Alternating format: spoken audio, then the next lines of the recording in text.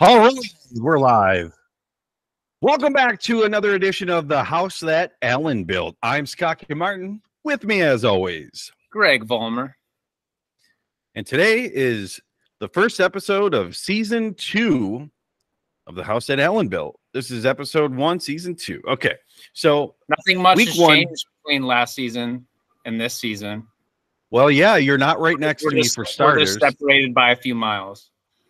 Yeah, have we calculated the miles? Is it like 2,300 or some stupid 1,800, whatever?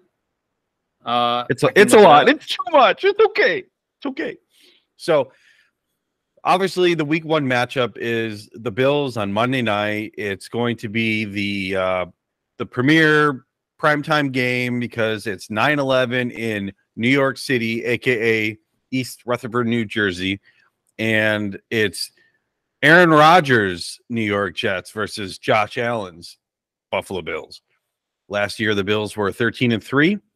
And um, one of the big headlines is going to be that Damar Hamlin not only is alive, but he has made the roster and will be backing up Micah Hyde and Jordan Poyer, along with, of course, Taylor Rapp, who we got from the Rams in the offseason free agency. Uh, so, what do you think? What's the bigger story? Aaron Rodgers, Monday Night Football, playing in New York, uh, you know, Mr. Hard Knocks himself, or is it guaranteed comeback player of the year, Damar Hamlin.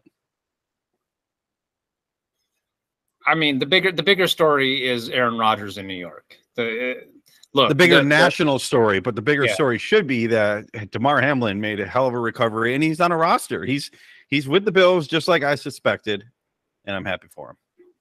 Yeah, no, I'm, I'm answering honestly. I'm, I'm, I'm I, I didn't answer as a Bills fan there, I suppose, but I'm answering honestly. The, the bigger storyline is Aaron Rodgers. That's what's gotten all the national media attention this offseason.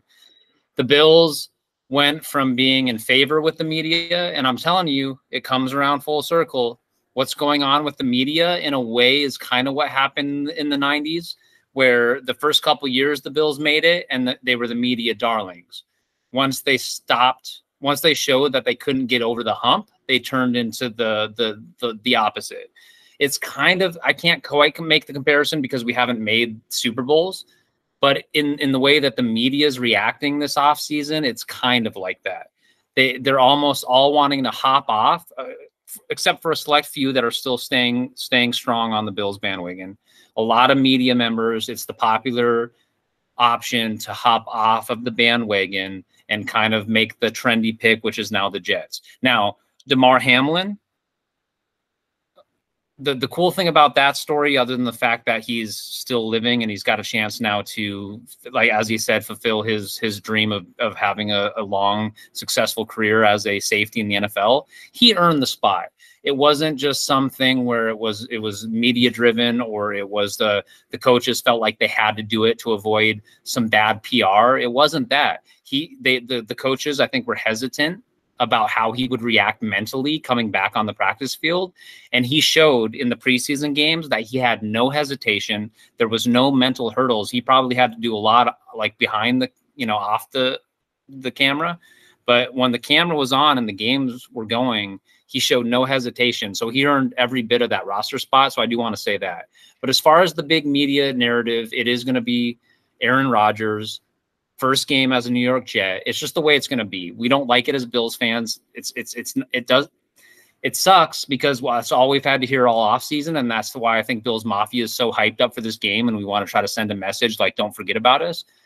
But it's just the way it is. The Bills had the, the Bills were that trendy thing. We we've fallen short in pretty sh- ridiculous, shitty ways, much to our own doing, whether it be coaching or what have you. But and so now we got to try to take back the not that we have to take back the narrative from the media, but if we want to prove something, then we we show it on Monday night. Yeah, absolutely. There's no doubt that the Bills have been kind of like put aside and they're no longer that that darling story. And you know, to go from Super Bowl favorites last year to now like not even winning their division through many people's projections because Aaron Rodgers, who yes, he's been in the league what 18 years. This is his 19th season. But we have to remember that last year was by far his worst season. He had 12 interceptions. He had nine total interceptions in the previous two seasons, and he has four league MVPs over those 18 years. I get it. He's great. But will he be? Even though Nate Hackett, his best friend, Nate Hackett, comes over after them spending three years together in Green Bay before Hackett got promoted to Denver and then got canned after 15 games. They're back together. He knows the offense. It's not like he's going into a new system. So it might not be as rough as some people think. So obviously, the national media, especially the ones in New York, are like, it's their Super Bowl year. They're going to make it. Now, they've got a lot of talent. They've got, you know, rookie of the year, Garrett Wilson on offense, and they've got rookie of the year, Sauce Gardner on defense. So they're they're pretty loaded. They've had a great draft the last few years, actually, and they've got a good offensive line. Uh, they're shaky. I say good, but it's really actually the defensive line that I'm more worried about with uh, and Williams. But anyway, the Bills they returned 75% of their roster from last year, which is actually the most in the league. You know, we see the turnover, we see the wide receiver room a little different other than the top three guys. And we wonder, what does that mean? You know, the Bills spent a first round pick on Dalton Kincaid, tight end slash maybe slot receiver. And he looked great in in the preseason. I'm excited for him. Um, I think that they're going to do great things with him, maybe right off the bat, just to prove that that first round pick was not a reach and that um, it's going to set a precedence for the rest of the season. What do you think? How did Sam LaPorta look on on Thursday night? Sam LaPorta looked good. I think he was one of the only weapons that the Lions had outside of Amon-Ra St. Brown. I, honestly, Marvin, uh, is it Marvin Lewis? No, no Marvin Lewis was coach for the Bengals. Marvin Jones, Marvin Jones. He Marvin returned to Detroit to play for them again, but he didn't. Obviously, he's lost a step, and the passes weren't perfect. It's Jared Goff, who's, you know, a decent quarterback. He had you know that he's going on the most consecutive passes in NFL history without an interception. It hasn't he hasn't thrown one since like week nine. Yeah. yeah. I think he's got week third nine. most in history now. Yep. Yep. Jared Goff, he's unheralded. He's a little bit like Kirk Cousins. He's a statue in the pocket. He doesn't have the mobility like the kind of the must-have quarterbacks now in this day and age of the NFL, but he still gets the job done because of his smarts because of his anticipation and because he will hang in the pocket like a Kirk Cousins and take the hit before he delivers the ball. But to, to your point, they are lacking wide receiver star power.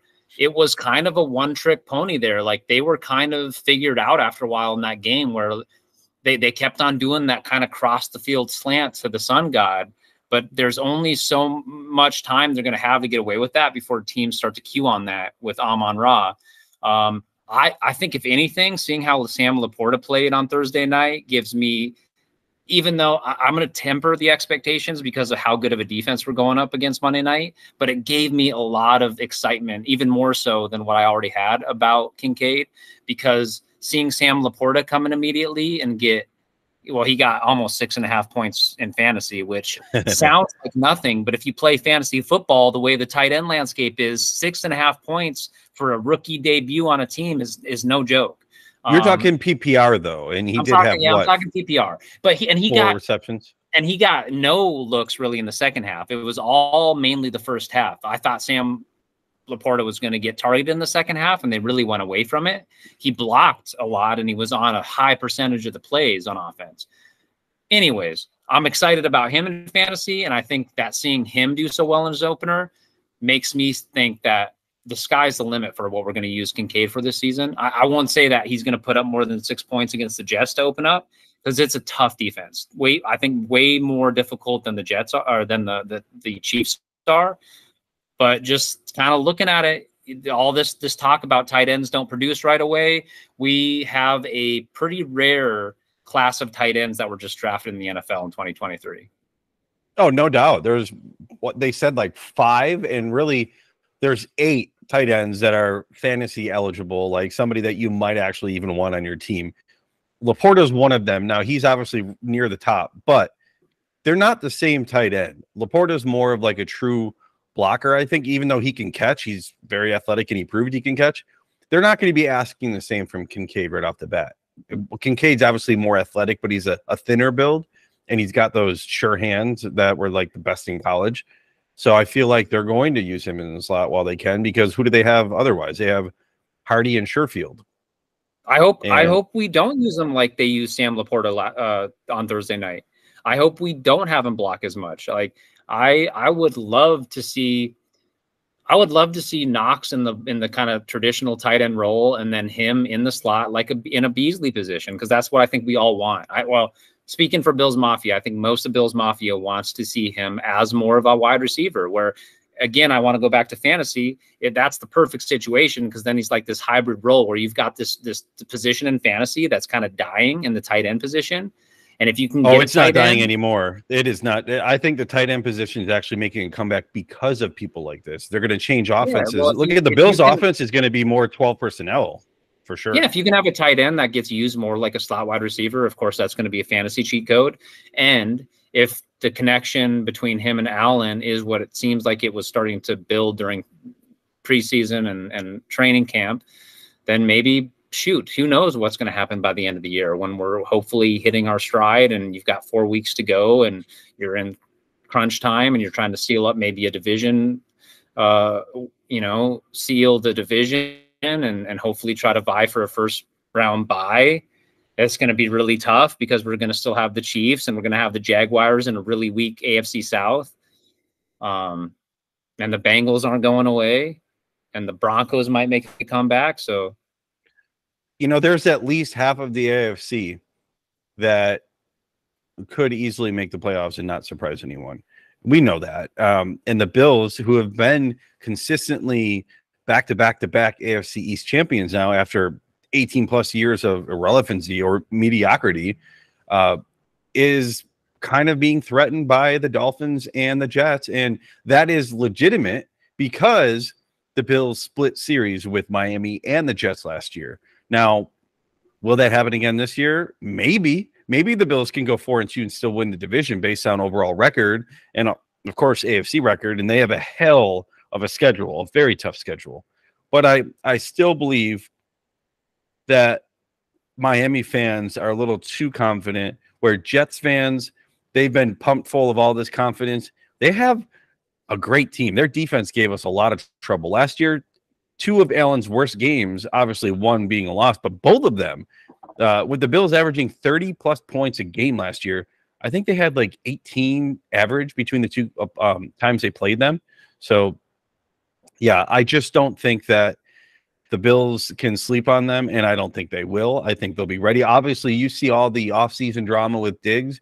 He looks happy. He looks like he's hungrier than ever. He's aggressive in practice. He, he's got a, another level that he's entered because he wants them to win. And he knows that last year they kind of overlooked him in the playoffs, the Bills, that is. They didn't utilize him the way he wanted. He was upset, rightfully so. Now, are there a lot of wide receivers uh, to get the rep for prima donna? Yeah, I know.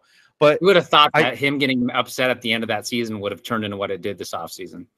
That's true. That's true. I mean, especially when I remember the 2021 playoffs where he's got his arms at his side and he's watching the, the Chiefs celebrate the AFC and, and go to the Super Bowl. That was that was very tough. And I hate seeing the annual playoff Allen gif, you know, or image of him red and upset. I remember the Houston game. I remember obviously the Chiefs game, and then most recently the Cincinnati loss. And it's like, when are we going to get over that hump? A lot of people wanna, think, you know what? Him, I want to see him red in the face from drinking some of that brown water he's got stored on his top shelf after winning the Super Bowl. I don't want to see him red because of of another embarrassing loss.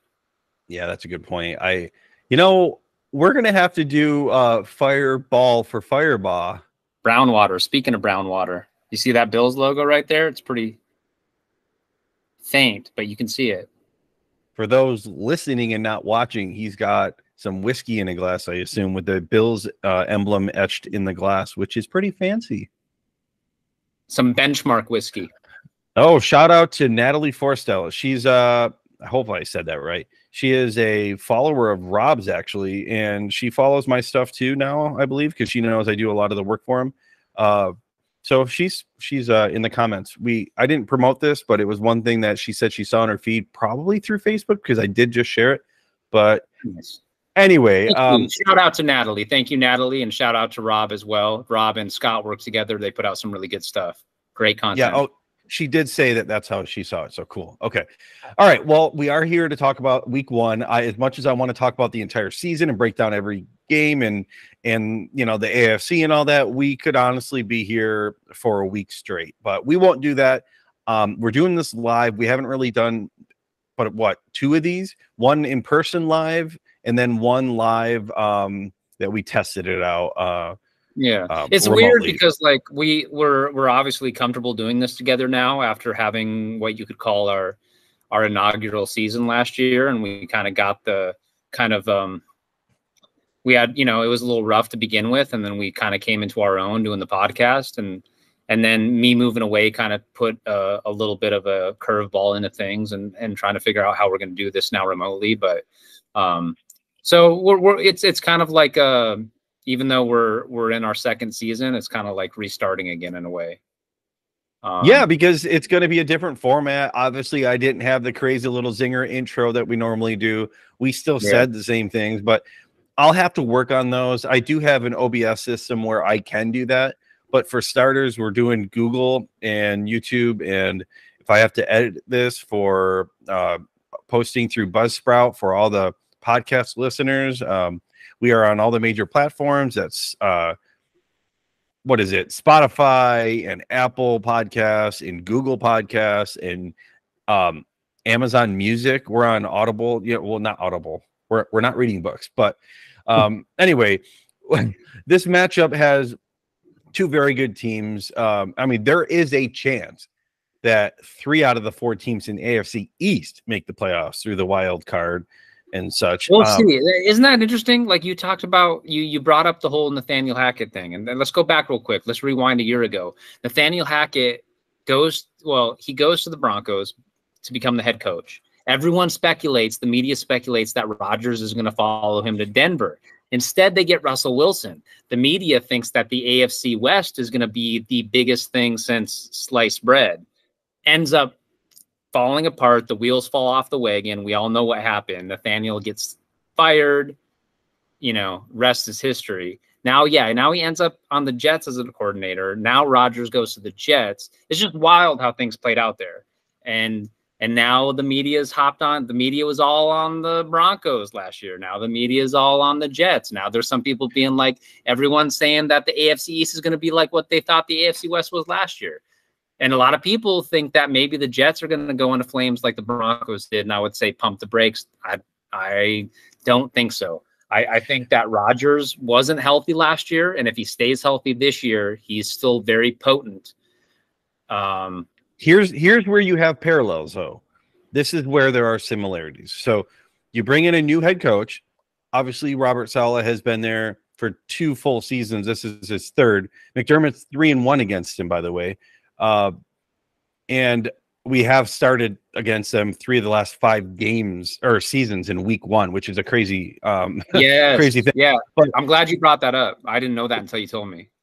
But I do think with Wilson, Russell Wilson going from Seattle being traded to Denver for too much and him falling flat, and then you have Sean Payton come in and go, Holy crap, Nathan or Nathaniel Hackett screwed this up. Now, obviously, usually coaches don't say that about other coaches, but it's Sean Payton. And he's coming back in after really he wasn't fired from New Orleans. He stepped away and came back and is making good money, and maybe they'll make a difference. Maybe he can resurrect Wilson's career. But with Aaron Rodgers, he's been in the league 18 years. This is his 19th, where I think Russell Wilson is entering year 12 or 13. Uh, it's a little different, but he also brought in his receivers where uh, Denver didn't get to do that. You know, like they didn't get to bring over Lockett or Metcalf or, you know, the OC. It was just Wilson. So he had to go into his system however it was. Hackett was there for 15 games. It didn't work out. I think Hackett being an offensive coordinator, he's a lot more suited for that position. I think sometimes head coach is too much for people. And McDermott, he's going to learn if calling the plays on defense is going to be too much for him. He he actually in uh, in the preseason had somebody else help him with the play calling just to see what it would be like to balance. And he, for the most part, I mean, the guy's defense is going to be a lot more aggressive than Leslie Frazier, and the players have clearly God, spoken that. So it, it it should be a hell of a matchup. I mean, I'm looking forward to seeing it. Um, it's good to have Micah Hyde and Jordan Poyer back. Last year they they played in what two games together, maybe, and then uh, Poyer was was out uh, with injuries, and then Hyde was out for the year with his neck, which there was a scare. He has been upgraded this week to a full participant from a, a mild back injury had. He said it might have been from playing around with his son, but that's literally the only injury to report, other than obviously Von Miller starts the season on pup. And we knew that first four weeks. He he said he was pretty much ready, but he also said he was going to play last year, and he didn't. So he's always putting hopeful. Him on pup was putting him on pup was the only move. That was it. really was. In my mind, that was the only move. Yeah, it's smart. I mean, why why use him in the first four weeks? Like we, I think we can handle them possibly. Uh, we we face the Raiders week two. We don't need Von Miller for that. Week five is when we play what the Bengals, I think, or we need him back for for that week five. Let me let me find out who we play week five. Would you know? Uh, it's going to either be the Giants or the Jaguars. Um, we go we go to London, and then I believe then we host the Giants Sunday night. Okay, so I have it. We've got the Jets in New York. Then we have Las Vegas, uh, the Raiders at home, and then we go to uh, Washington. Then we host uh, the Dolphins, where it switched from last year, where it was that whole heat fest. Then we go to London week five. So that's where he would come and play his first game, like you said. But they're, week they're, 5 they're thinking that they won't put him uh, in London, trying to, to travel and have him a debut there. Yeah, they're thinking it, it'll probably be the Giants. Yeah, the Giants is the next week, or or New England, and yeah. I think coming back week six or seven is probably smart. And if you think about it, he got injured the same game that Tre White came back from a knee injury. Now, his wasn't as bad, but they both went out. Uh, they were out for the year. They had to rehab, and it sucks that they played what ten snaps together. So this will be the first time we have all of our legit starters out there minus Tremaine Edmunds. We lost him in the offseason. Um, but we did fill that spot with uh um I always screw up. There's Bernard and Benford. I think it's uh oh it's uh Bernard, Terrell Bernard. He is going Terrell to Bernard. be the starting inside linebacker next to Matt Milano. So right away he's he's calling the alignment on defense. He's got to be more vocal. A lot of people thought maybe it would be Milano, but that's he's an outside linebacker. He's I mean, he's a middle linebacker, but he's still an outside in our in our system. And he's not as outspoken. He uh, he leads by action, not so much by words. And a second year player who was injured last year, who was also injured in the preseason, we haven't really seen him. He obviously, what does that say to you about uh, Dodson or uh, or our other backups? Um, with him coming in, not even being able to play, and and Bernard gets it.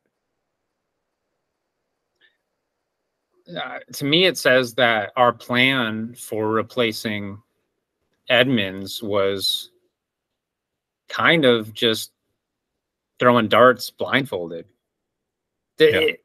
I think I don't know. I'm hoping I'm hoping that that's not going to be something that bites us in the ass this year, where we're we're the whole narrative after a game, if it didn't go well or something went wrong on defense, is well, fuck. If we would have just paid Edmunds, you know, instead we instead we paid, um, instead we paid Oliver, you know, and I don't want to say that that's going to be a narrative, but it is kind of something that I thought about in the offseason. We let Edmunds walk and then we paid Ed Oliver about the same amount of money that we would have paid Edmunds.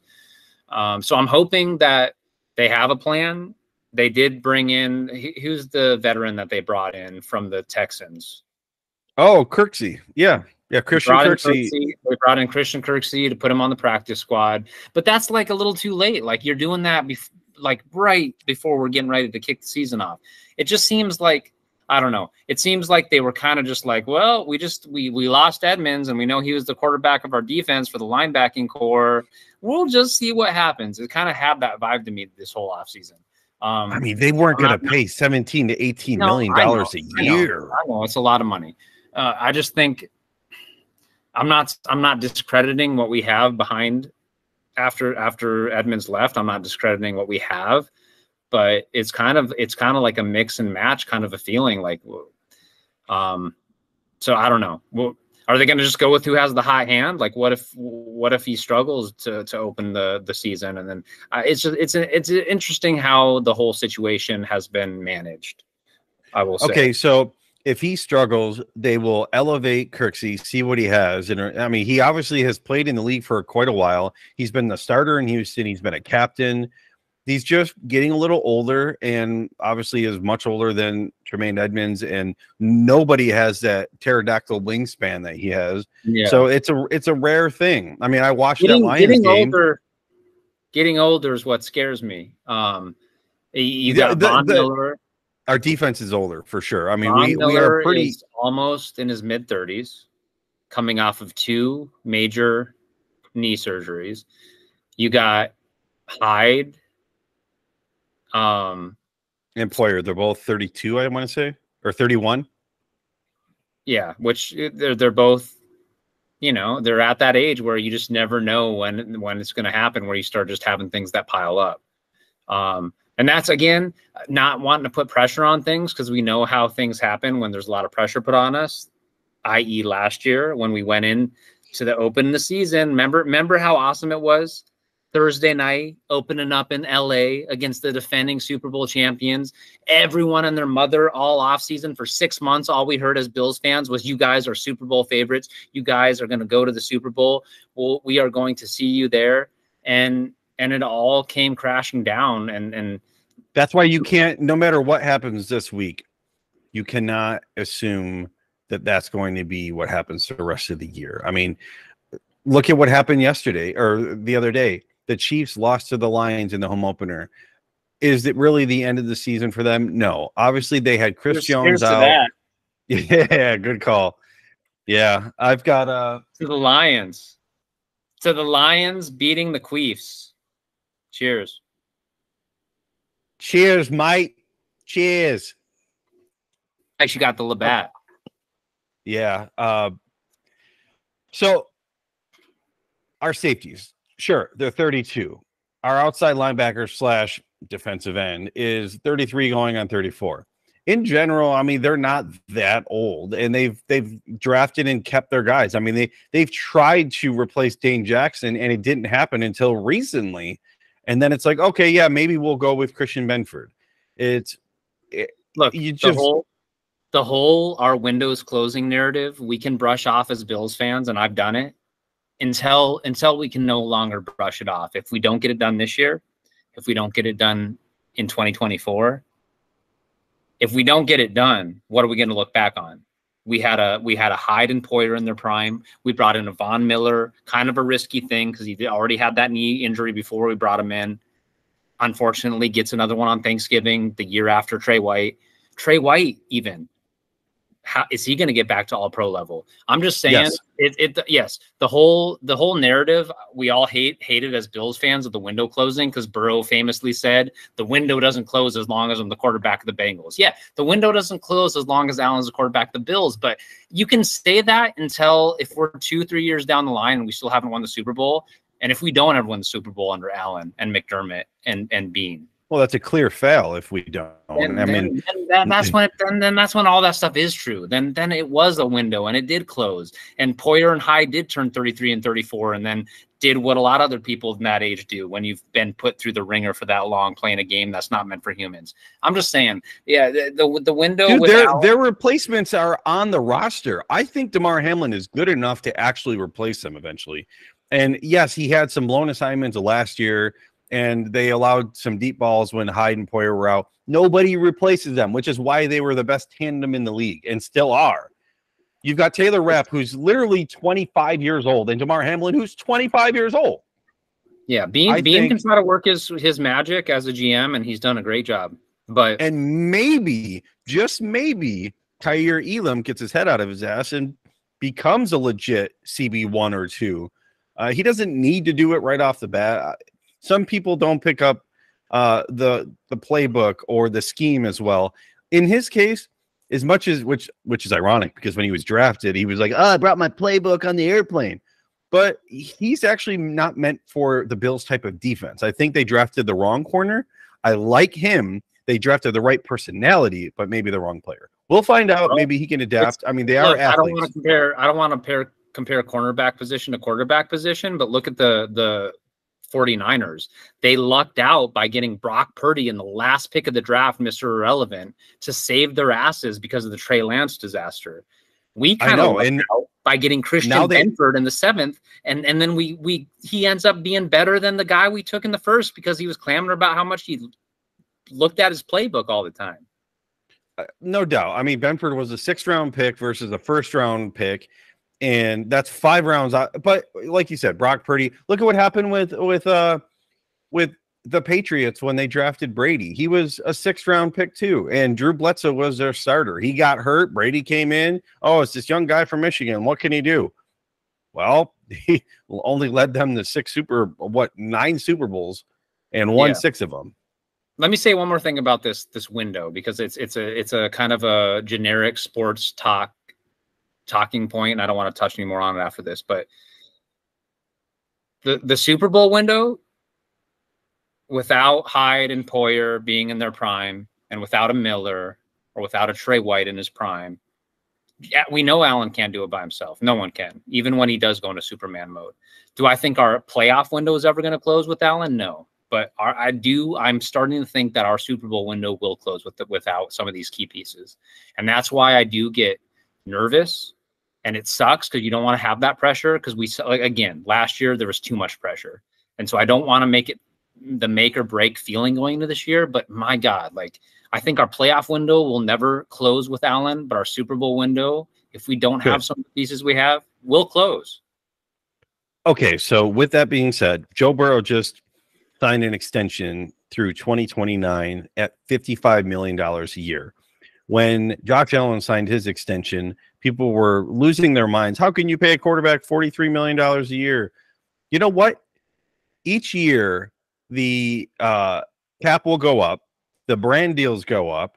YouTube TV now has uh, Sunday tickets, so there's more money as a kickback for the players in the league, and it's only going to go up. So that 55 million now is actually going to be good for the Bengals. For us, 43 million to keep uh, Allen for what another six or seven years. I mean, it looks great. So big baller Beane, we, baby. Now there are things we can say like maybe it would have been better with Justin Jefferson instead of signing Stefon Diggs because we gave away that pick and then some. Sure, but woulda, coulda, shoulda. I actually liked how aggressive they went because they were going all in now, but they didn't do what the Rams did, where they go all in, win a Super Bowl, and then the next year fall flat. No, they won the division again. The Bills have made the playoffs aside from the Chiefs, the most in the last four years. They're the only team that went or to go into the playoffs each of the last three, four seasons consecutively, and the Chiefs are the only other one. I think we're the only team too that's had to play the Chiefs for the ten out of the last fifteen years in, in Arrowhead. Oh yeah, we played them. It feels like we've had to play them the in Arrowhead for the last decade.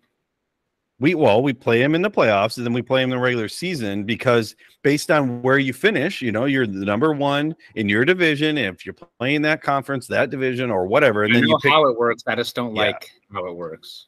It sucks. Well, then we have to not only beat the. Then you know what? Then I'd rather lose to them in the regular season, obviously, and win in I hope, the playoffs. I hope you or you know what? Win both. Are crying in your barbecue this week. Enjoy that L and get ready because you're going to going down to Jacksonville next Sunday, and you better not go on two, Chiefs fans. Let's see how y'all are acting up if you go on two. Keep up that energy up.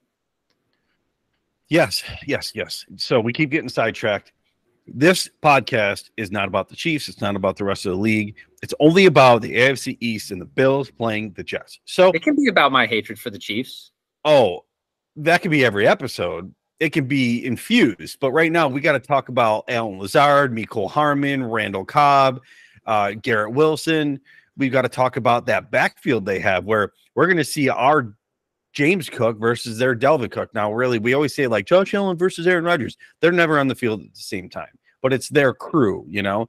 And Dalvin Cook is going to have to step up and get more carries because Breece Hall is coming back from an injury, and I think they're going to. They said that he's a full per- participant and all that, but I think they're going to have him on a on a pitch count per se.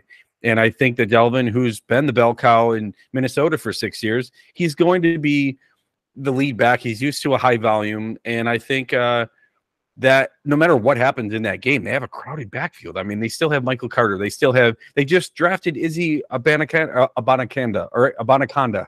Abanikanda. Yeah, Abanikanda. Is it Israel Abanikanda? Izzy. Okay, so obviously they have a good backfield and last year they had james robinson who ended up getting hurt but they were being aggressive then too with their trade with the jacksonville jaguars now we have to deal with Breece Hall, who was a second round pick last year, and I think he's a stud, a true stud. He got injured. He had that season ending injury, but or his knee I, on my birthday while he was on my fantasy team. Yeah, happy birthday to you, right? Yeah. So their offense, right? They've got this Hall of Fame, first ballot Hall of Fame quarterback. They've got studs for running backs. They brought over Dalvin Cook. They've got Garrett Wilson, who's a true number one wide receiver, offensive rookie of the year. He's legit. Um, they have a great team. And now you get to their defense, and you've got Quinnen Williams, you've got all these other guys that are just so good. You've got Sauce Gardner, defensive rookie of the year, like I mentioned already. They are loaded. There's a reason why they're getting all the hype, but I still think you got to remember the Bills are finally back to full strength, and don't sleep on them. You know, don't sleep on them. Now, if we're going to get into the injuries, like I said, high. Is Tre White is Tre White going to cover Garrett Wilson? I don't think that he's going to shadow him one on one, but unless they feel like they need to, I think if Wilson ends up in the slot, you've got Taron Johnson. If he's on the outside, maybe it's Christian Benford. Maybe they bring in Elam once in a while. Maybe they're, you know, they'll switch it up. Dane Jackson's still a great coverage guy. Um, I think that we won't know until the game starts. It's literally the first game of the season. So there's no true pattern as to what they're going to do this year. And with Mekhi Becton back, who was the 11th overall pick in 2020, he's never played in front of the Jets fans. He's played in one game in 2021 uh, where he got hurt, but it was on the road. And he's been out for the last two years. So he's a freak of an athlete. He's big, um, strong, athletic, but he's been fighting these injuries. And now he's actually, I think, got a shoulder injury and then he came down with an illness. So he's still on their injury report as limited. So he may or may not play. He probably will play, but who knows? And then they've got Duane Brown, who's a 38 year old coming off of a huge knee injury. He was on the pup in the preseason. Uh, there's question marks. There's question marks. So I feel like our defensive line, our, we we need our ends, Rousseau and now Floyd, Leonard Floyd, who we have. Um, we need them to do well and blow them up. And I feel like Becton and Brown versus Rousseau and Floyd will be one of those matchups that we should be paying close attention to because that could make or break us. I drafted Garrett Wilson in my fantasy league, and I'm I'm a little ashamed of it. You know, a lot of Bills fans would be like, "You drafted Garrett Wilson over over taking Stefon Diggs." Like, come on, why aren't you going to be? Wait, wait, wait, wait. Diggs was already gone when you picked Wilson, right? Oh, he probably was. Yeah, he probably because because yeah. half of the league we're in with you is is Bills fans. So, um, because because yeah. he went number one. Did Josh Allen go number one? And then Patrick mm-hmm. Mahomes went number two. Correct. Yes, which yep. in a 12 person league. And if in you play 12 person usually you don't quarterback go one, two. That's pretty fucking bizarre. Um, but yes, I took, I took Garrett Wilson because he's been going up against Sauce Gardner all training camp. And Sauce Gardner is iron iron sharpens iron, right? As Saleh said in Hard Knocks, yeah. And and look, it's gonna I, I think part of the the shitty part about playing fantasy is the conflict of interest. Like I don't want to have to cheer for Garrett Wilson, and I'm not going to be cheering for Garrett Wilson Monday night. But he's going to uh, get. He's their number one target. He's going to get targets. He's going to yeah, do but, something. But when when I was doing the draft, he was the person I wanted because, yeah, the, he's just my god. He put up the numbers he put up with Zach Wilson and and and and White and uh, Mike White. Like, are you kidding me? You have the chance to bring in a Hall of Famer. Um, yeah, Garrett Garrett Wilson is a stud. He's legit. Breece Hall is legit. I think the cream of the crop. You know, it'll rise to the top. I think. I think at the end of the season, it, uh, speaking speaking from fantasy terms, Breece Hall is the the guy you should want. I think Breece Hall's knee is going to be just fine. It wasn't as severe as Javonte Williams' tear. There wasn't as many ligaments. Um, I think that Dalvin Cook is going to deal with injuries like he's been dealing with. I think it, Mhm. I think it's going to kind of prove. I don't want. I hate to say it because I want running backs to get paid, but I think that the Vikings are going to kind of be like, "This is why we got rid of him," type of a thing. I think he's going to be a fine complementary role, but there's going to be something that happens where he's probably not going to stay healthy. Uh, I think Well, if gonna- you if you remember last year, Dalvin Cook, we held them to under what 2.3 yards per carry or something, and I was at that game, and, then, he had ripped off huge- that 60, 70, 80 yard or whatever it was. Now my memory, Mhm. whatever. Yeah. Uh, he he's an inch shorter than his brother. He's 20 pounds heavier. They're both fast. Last year, he still had over 1,100 yards rushing, almost 1,200 yards, and eight rushing touchdowns. And then in the receiving game, you know, he's going to get some. He had 39 receptions for 295 yards and another two touchdowns. Yeah. Can can James Cook do that? I feel like last year with only 89 rushes for 500 yards, he can do that. His 5.7 yards per carry probably won't hold up again this year, and only two rushing touchdowns because when we're in the red zone, it was usually Josh Allen or he threw it to Knox or someone. But 21 receptions for him, 180 yards. I feel like we're going to see more of James Cook doing the same thing that Dalvin did, and that is in the red zone, maybe. I, but then you've got Damien Harris who's going to suck up a lot of those carries in the red zone. I feel like James Cook with his speed and yards per carry will get us from the 20 to the 20 and Harris and all the others will do the dirty work in the red zone. I'm excited to see. I'm excited to see how James Cook's yards per carry averages out with more touches this year.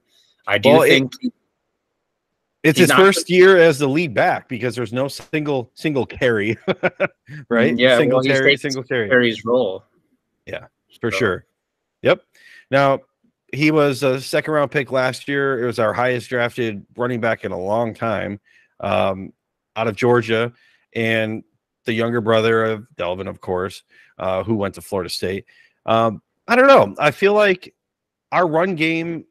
We don't need what what they have. We need what we have, and we're going to do just fine between the two of them and and Latavius Murray in the backfield. I feel like our three-headed monsters will be just fine.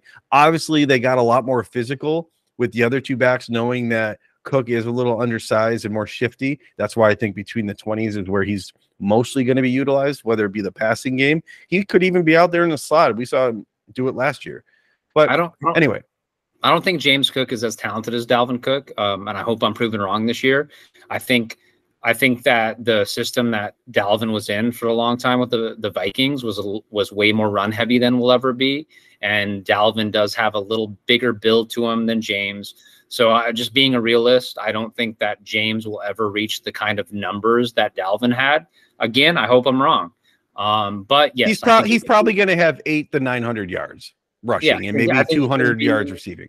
I think he's going to show why we drafted him. I think he's going to show those bursts of talent, kind of like CJ Spiller showed in his time with the Bills. I think he's going to show those moments where where it's like this guy is flashy, but I don't think there's ever going to be the volume just based on the kind of offense we run. And and uh, again, he's a little bit lighter, um, but I'm excited. I'm excited to see how he takes over as our RB one, quote unquote. Yeah, I, I think he will be whether it's RB one A or B or just a true RB one.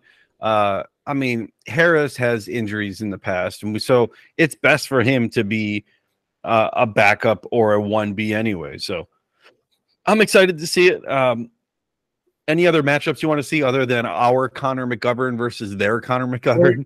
Yeah, but but like clearly, clearly the Jets do have a better backfield than we do as far as running backs. I think Yeah, that's, yeah, they have they have four guys that could easily start. on, and I think it's going to be it's going to be Breece Hall and probably it's probably going to be Breece Hall and even a, a Banakanda that are going to end up being like the main guys at the end of the season. That's just what I'm predicting.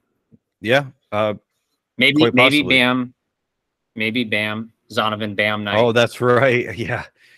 All right. So our um, offensive guard that we got from Dallas, uh, Connor McGovern, I think he's good. He's going to be our starting guard. He's 6'5, 318, you know, big guy in his fifth season. We're going against the Jets, Connor McGovern, who is their starting center. They were a little little confused when the Bills actually signed Connor McGovern. They're like, wait, what? We're lost our center? But uh, anyway, he's a little smaller. He's an inch shorter and like 12 pounds lighter, uh, but they're both offensive linemen.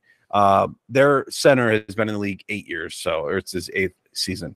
Uh, that's a just a weird matchup, and I think that a couple other things I noticed when looking at the roster, they have a Breece Hall and a Bryce Hall. They've got two Michael Carters, one on offense and one on defense. It's like God, if you're yelling out someone's name, you have to have Michael Carter the third and Michael Carter. You have nicknames. To have Bryce and Breece and yeah, there's a bunch of different ones. But yeah, I remember the one year we had seven Williams on our roster. We had Aaron Williams and Kyle Williams and all the other Williams. There were I don't even remember. I can't name them all right now, but Anyway, do you have any other matchups? What do you think about uh, McDermott being three and one against Saleh's uh, New York Jets team? Obviously, he was Saleh was coaching with Wilson and other quarterbacks. Where now yeah, he's got. Yeah, let me bring Rodgers. that up real quick. Let me bring that up real quick. So yeah, the Bills are seven and three against the Jets since 2018, but the quarterbacks in that span were Sam Darnold, Josh Hmm. McCown. Maybe you remember. Joe Flacco. Yeah. and then Mike White. And there was a couple other guys that played maybe one or two games. I'm not going to mention them because I just didn't want to write it down. Fitzpatrick. say- no, that was before that span. That, that's That true. It was But okay, but but he- we'll give yeah. well just just for the sake of it because they still had a quarterback carousel. Yeah. it, it is never uh, there's never a time that isn't a perfect time to give out a Fitzpatrick shout out. Um, yeah. So It so should be our running joke all season to mention Fitzpatrick every episode. yeah yeah didn't he didn't he go to like Harvard or something like that Stanford He did go to Harvard, and you know what? He's in commercials talking about it with Kevin Hart. Oh, the smart Yeah. guy who went to Harvard.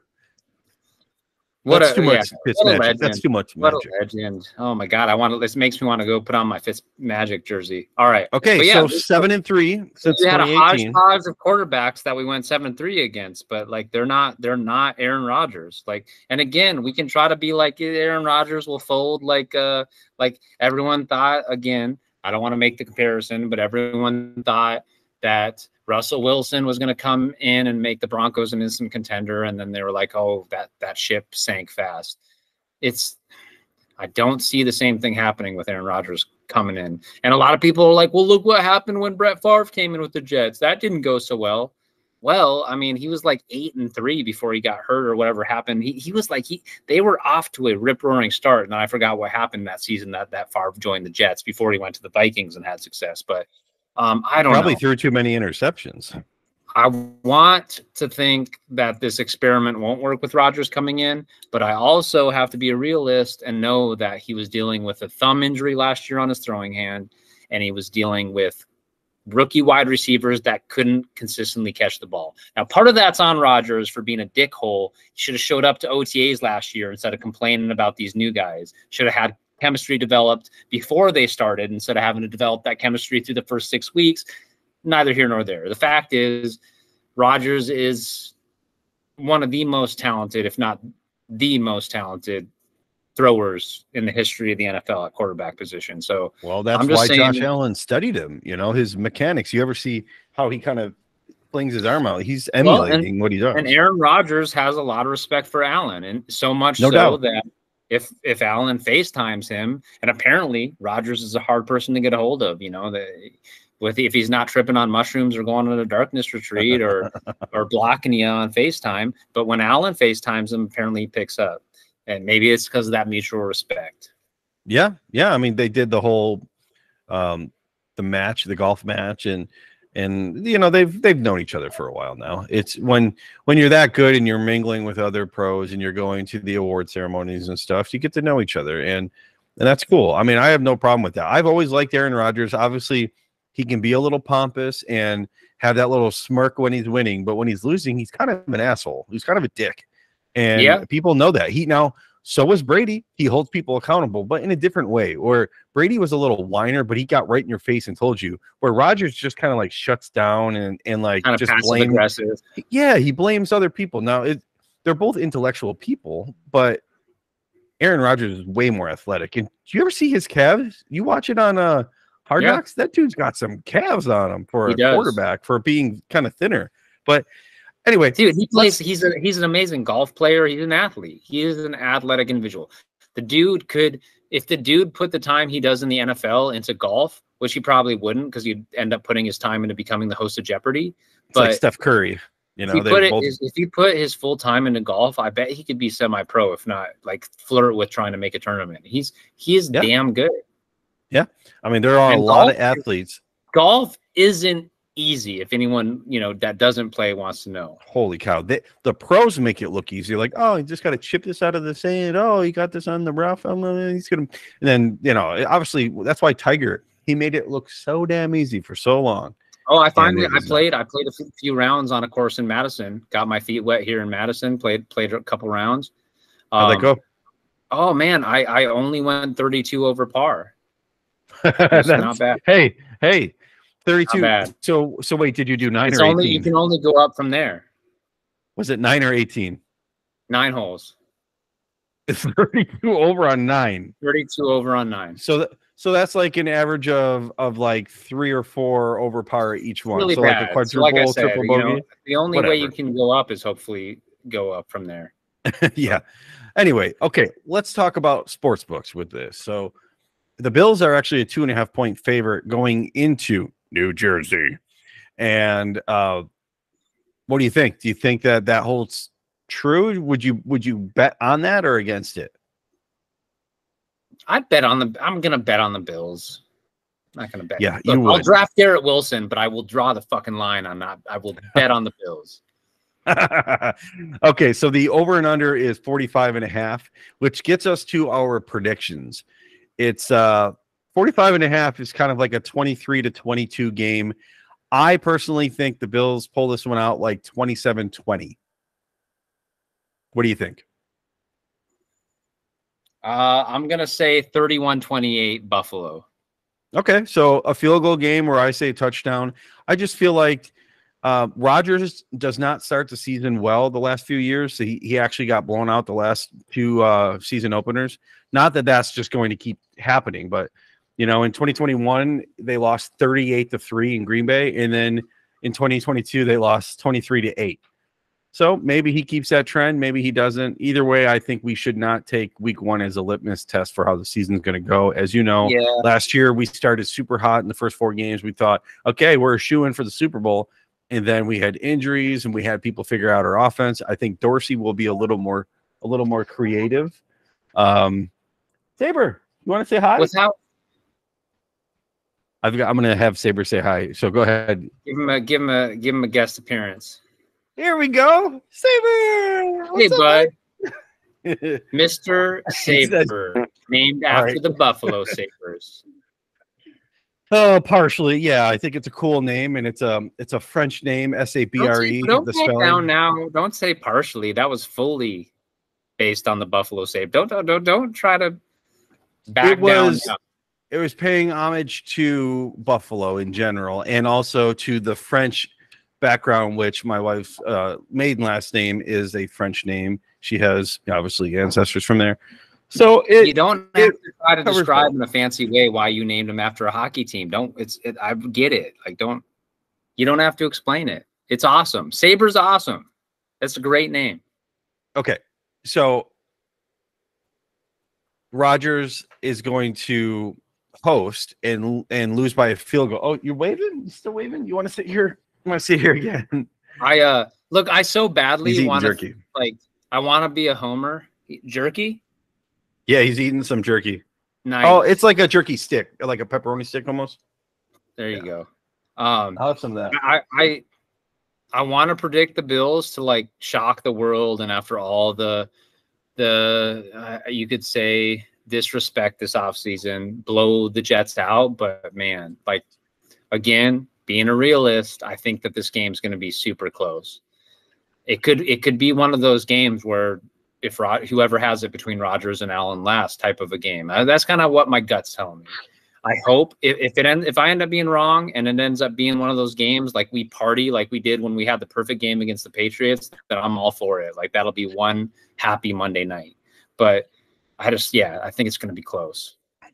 I think that we've got to put our trust in Tre White being back to him, you know, his old self, and that our offensive talent can somehow overcome theirs because I think Gabe Davis is going to possibly break a thousand yards this year. He's going to be on a on a contract year, and you know, I just think Allen is going to be a little smarter with the ball. Hopefully, you know, it puts a little less pressure on him knowing that we've got the three headed monster for uh, for uh, running backs and you know good depth. I I'm interested to see what Sherfield and Harty become because you know they're they're there's something that that uh don't sleep okay, on them. dude. yeah.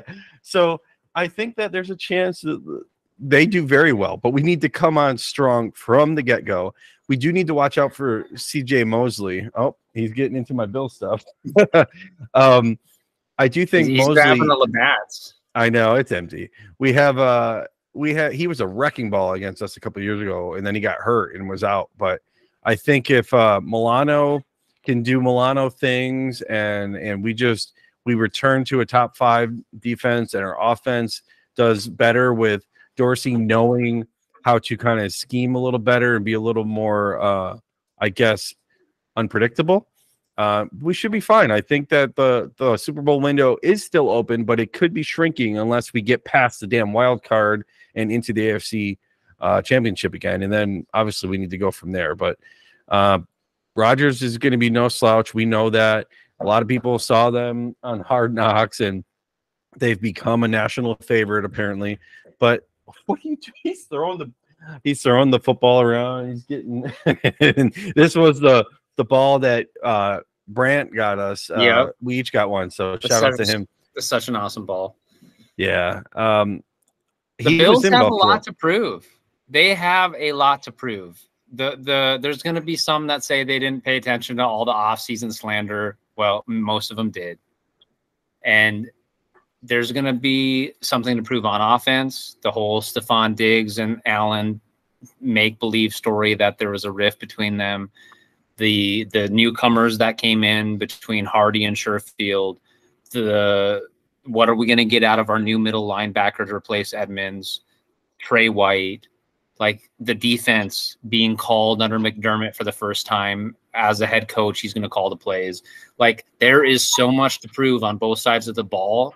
Not to mention any of the other storylines going into Monday night. That like, I mean, my God, you could you could have a whole ledger full of of the storylines. But look, the team has a lot to prove. He's going. He's going. He's going after the helmet in the background. It is now moving, and don't think it has a mind of its own. Oh, there he goes. He puts it back. Uh, anyway, this the life of a two-year-old and parents that have to constantly watch him, especially, especially the wifey over here. But um, you know, we've obviously gone past our hour that we're gonna do or dedicate to this. I want to do an episode where we break down the entire season. If you want to give maybe your overall quick prediction before we do like a thorough breakdown um another time that's fine with me Yeah, I I mean, and I'm I- fine with us not doing a thorough breakdown, like doing the week by week Yeah. thing. It's hard to predict. Like, I think that just given kind of an estimate of like how many wins they're going to get, but um, look, I, I'm I'm going to say 12 or 13 wins. I'm I'm, I'm I said 13 wins. I think when we did our podcast a, a couple months ago, um, I think 12 or 13 is the sweet range that that I see them. If if anything above or below that will shock me. yeah i think 13 and 4 12 and 5 is is a good one because there are games that could obviously be a push it's hard to say uh you know we're we're playing tampa that should be a victory but who the heck knows what they have in in mayfield or trask right I we mean, don't know really But seriously though, that it, then if, if if okay, if Allen can't beat Baker Mayfield or I know.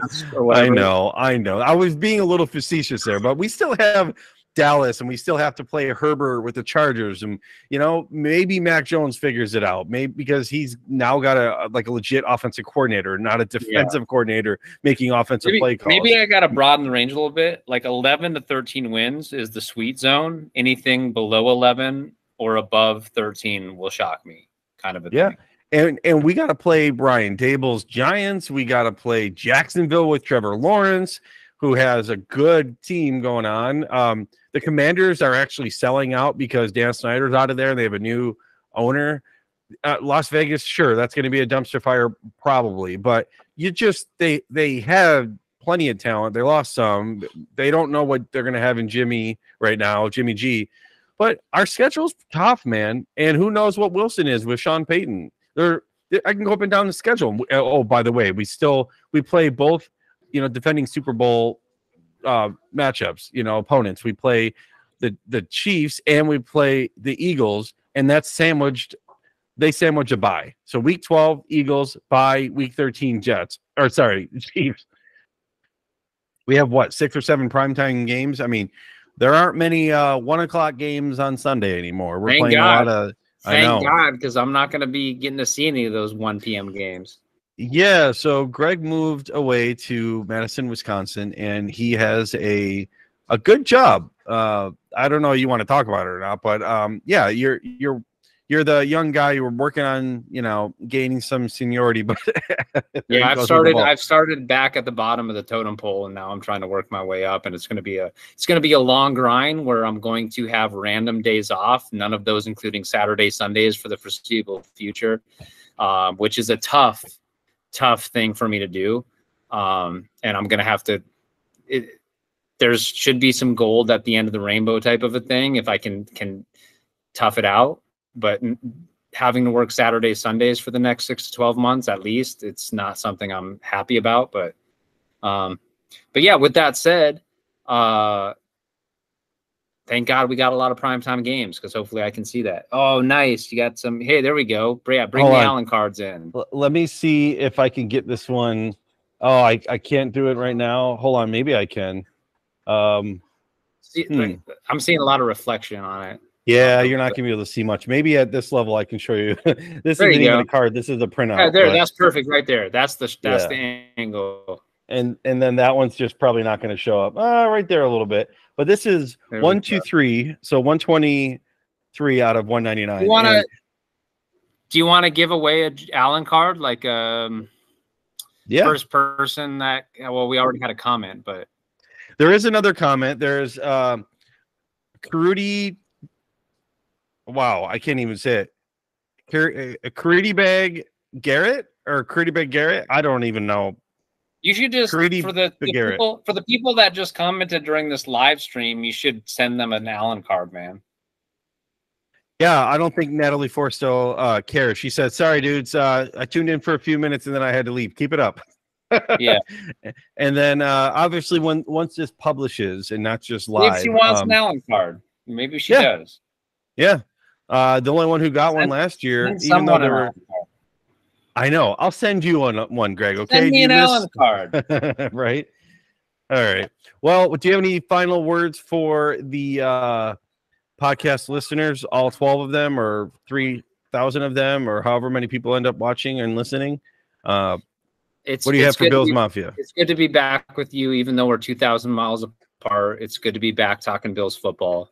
Um, it was a long, long off season. I don't know if this off season was longer or the one after 13 seconds. It's really hard for me to um, find an answer to that question. Thank God. I want to see that ball get kicked off Monday night and have a new season and, and um, a chance for a a new beginning. Um, so yeah, I'm I'm I'm happy.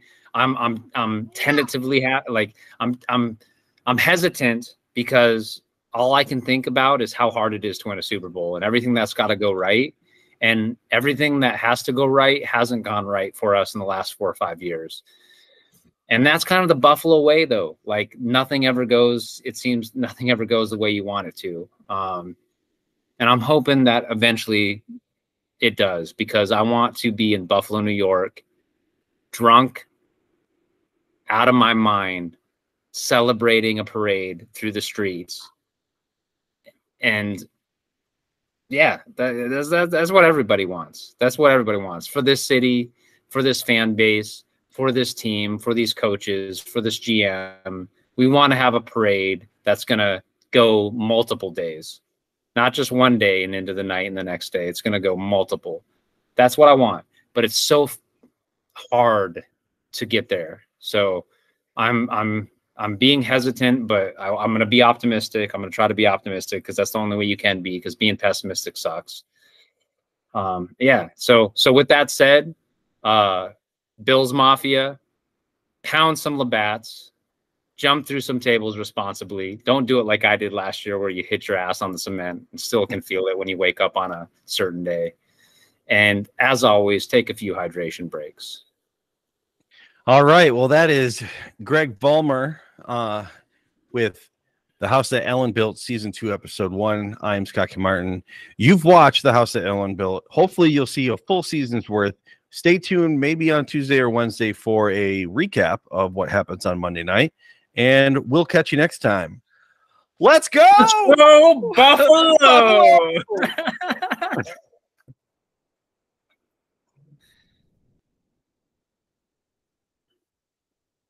Done.